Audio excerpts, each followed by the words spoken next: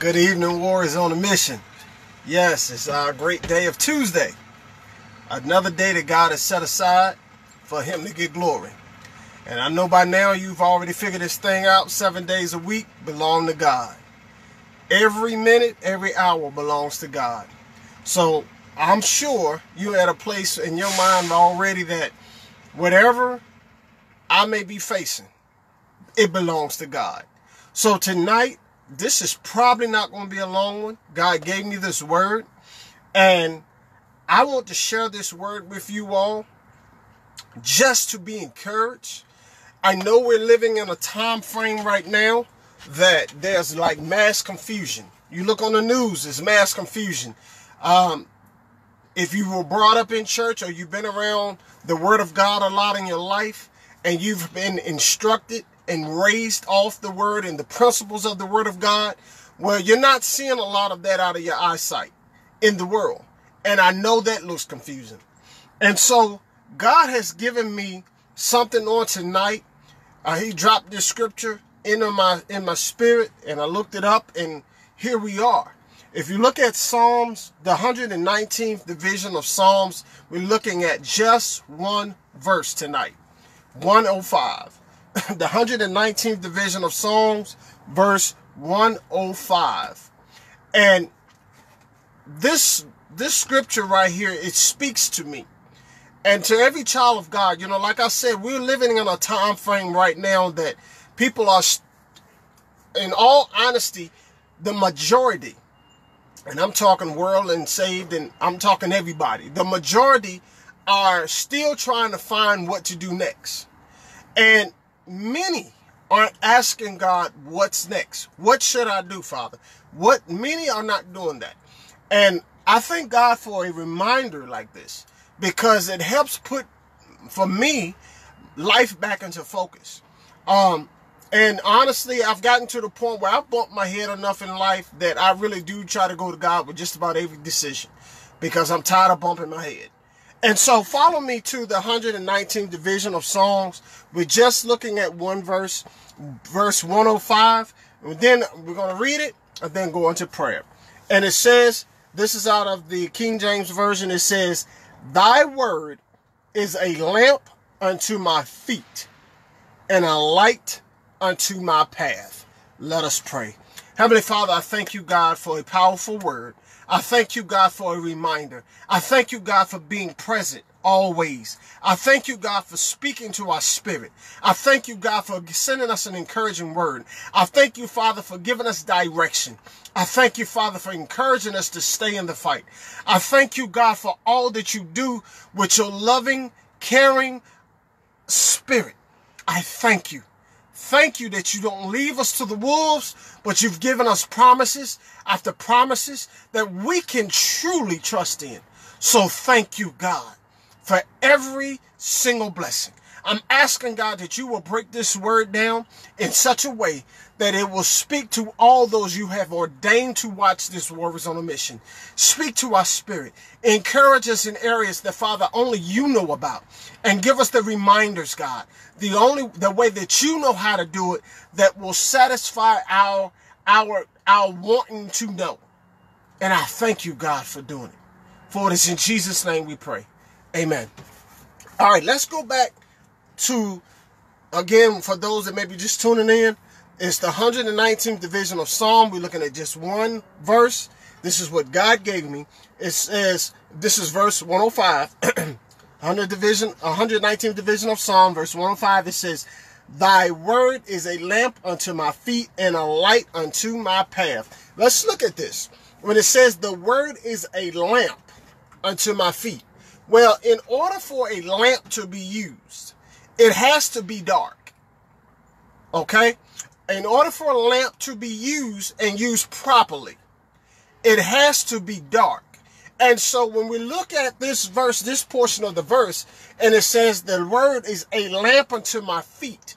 That's telling me this is instructions from God to let me know that I must, in order to know how to uh, uh, guard my feet and knowing how to maneuver with my feet, knowing which direction to turn, I must the wise way of doing it, I must go to God and allow God's word to speak to me. Now, how does God's word speak? It speaks, of course, by if you read it long enough, you'll learn God's nature. You read it long enough, you'll understand what God is intending for the body of Christ.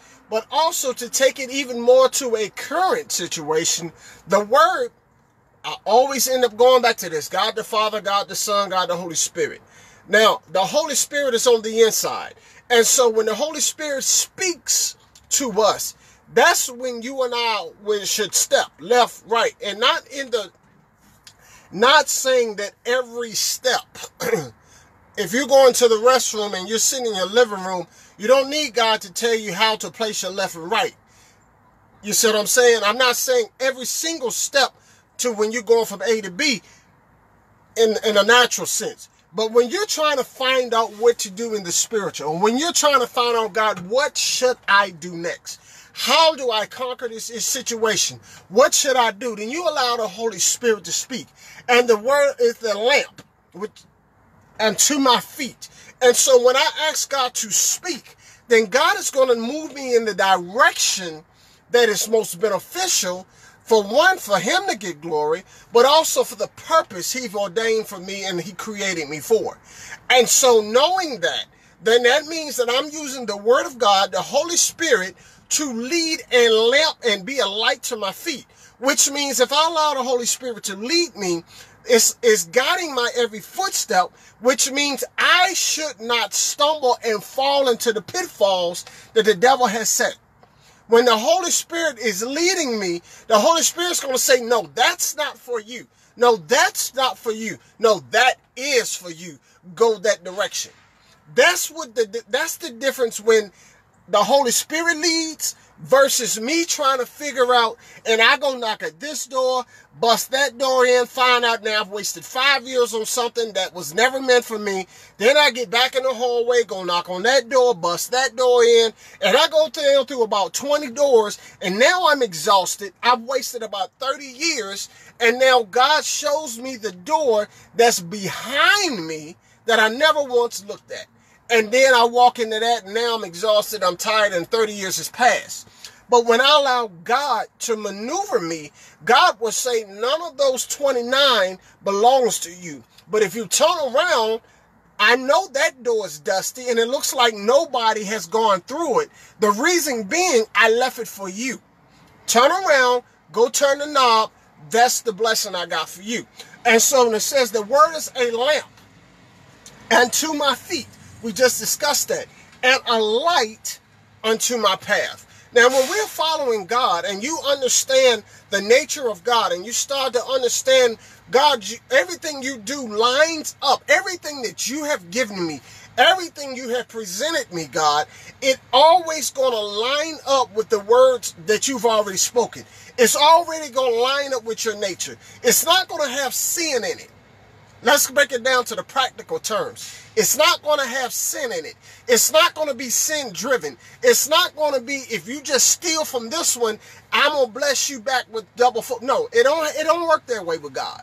And so when you understand that it's saying and a light unto my path, that means that once again, just like talking about the door that God held open just for you, you'll also be able to look at that thing and say, God, I see 25 paths. Which ones did you choose for me? And that path will be lit up. Reason being is because the Holy Spirit is going to lead you. And you're saying, God, why do I have to move from my hometown to go all the way cross country to, to, to go to this particular place? Well, the reason God did that is because he has a path already lit up specifically for you. And the only way you're going to get to that path, if you go back to the first part of that verse and let the word be a lamp to your feet. And if you allow the Holy Spirit to move your your move to, to orchestrate your movement, then He's already has a path. If you allow the Holy Spirit to lead you, then as you're walking, you're going to see the path that God has lined up for you. And the path may not look like something you want. Let's be honest. The path may not look like something you want, but when God is leading you, He will give you the press that you need and the uh, uh, uh, uh, he'll you he'll, he'll be able to reassure you that that's the path that I have chosen for you. And so when you begin to walk down that path, you will also have a peace that surpasses all understanding. It doesn't mean there won't be obstacles on that path, but it just means that while you're at that path and you may see some obstacles because again, the word is leading your feet even down the path, then you're seeing, but God will prepare you for the obstacles or the, the obstacles will not do you any harm. So when you look at this situation right here, I pray that this makes complete sense to you that do not make decisions by your head knowledge. Please go to God, ask God, wait on God for him to lead you, lead your steps and allow the word to be a lamp to your feet and a light unto your path. Let God lead you and do not move until God moves you and lets you know it's okay to go to this path that I've illuminated for you. Amen. Amen. That's what God gave me. Let's go into prayer. Heavenly Father, once again, I thank you. And now, God, even make this even more practical. That God, when situations come where we have to make a decision, that God, we will indeed come to you and wait for you to give us the answer. God, I thank you, Father, for all that you have done for the body of Christ. I thank you, Father, for how you've reassured the believers, the Christians, to let us know, God, that you will not lead us astray. You will speak. You will lead. You will guide us. And that's what you want. So, God, I thank you. I, I, I, I thank you from the depths within, God, that you never leave us and never forsake us, but you will answer us and will lead us. And God, thank you. For it is in Jesus' name we pray. Amen. Get y'all listen. God truly wants to lead us and he will do it. Trust him and I promise you, you will not go wrong. I love y'all. God's willing. I catch you on Sunday. Get back in your word. And if God got more, listen, he'll give you more than what he gave you gave me tonight. Get in your word some more and allow God to speak specifically to you. Amen. Amen. And he will do that. I love y'all. God's willing. I'll catch you on Sunday. Amen.